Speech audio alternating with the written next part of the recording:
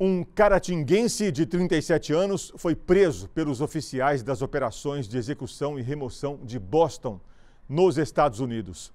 Ele estava na lista de procurados da Justiça do Brasil e vivia ilegalmente no estado de Massachusetts. Miguel Braz está de volta ao vivo com outras informações, Miguel, dessa prisão.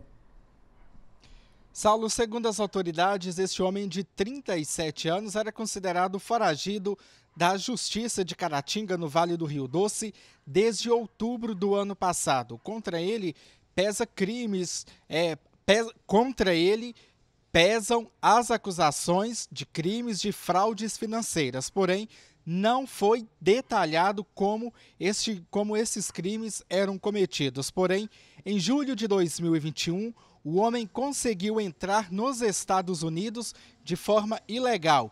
Ele foi detido pela patrulha de fronteira daquele país, porém foi liberado enquanto, enquanto corria o processo de detenção.